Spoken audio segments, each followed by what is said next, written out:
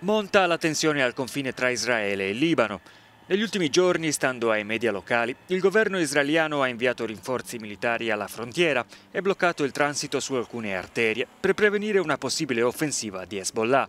Dispiegate anche varie batterie di Iron Drone, il sistema per la difesa antimissile. Domenica un drone militare israeliano è caduto durante un pattugliamento nel Libano meridionale. Non è ancora chiaro se si sia trattato di un incidente o sia stato invece abbattuto, ma un portavoce delle forze di difesa israeliane ha fatto sapere che l'incidente non rappresenta una minaccia per la sicurezza. Nelle stesse ore il ministro della difesa, Benny Gantz, ha fatto visita alle truppe al confine e ha sottolineato come Israele non abbia interessi in Siria o in Libano, se non quelli legati alla propria sicurezza.